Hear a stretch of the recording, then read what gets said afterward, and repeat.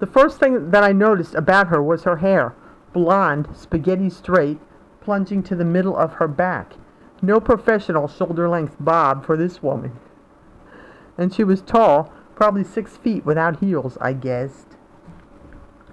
She was wearing sunglasses, blue jeans, a black sleeveless top, and sandals, and her arms were long and slender and tanned. Carolyn, this is Rich, John said. Rich Carolyn. you know what? This seems like this seems relating to what to what I was just listening to on the radio. she said hello and looked right at me and smiled. It was quite a smile. See, so uh, what I was just listening to, and I'm I'm having flashbacks. You know, stuff about you know what's going on now in the or has been going on for a long time in the professional sports world. And since we're in baseball season, uh, it's topical to talk about baseball. And A Rod, um, I said I heard an odd quote by him once. I believe it was on the radio. I, I and and he said, "I'm biracial. I'm handsome, and I'm rich."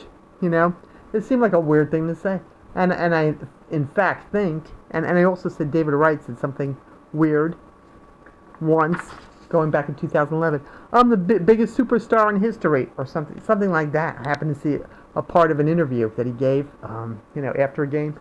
So, um, so these are odd things to say, and now I'm thinking, these are things that these women or or somebody, uh, women and men, you know, who are co- coercing them into sexual encounters. These are the things that they think about these these superstars, right?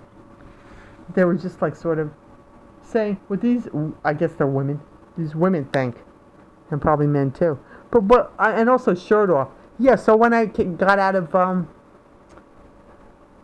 After after I got out of this program, 2000. So we're talking about 2006, and I had gotten out of this day program. I had to go to this program at the Ocean Mental Health from the time I got out of the hospital September 2005 to March 2006. I finally got out. I got a job, a part-time job, working at Master Memorials, a tombstone marker place.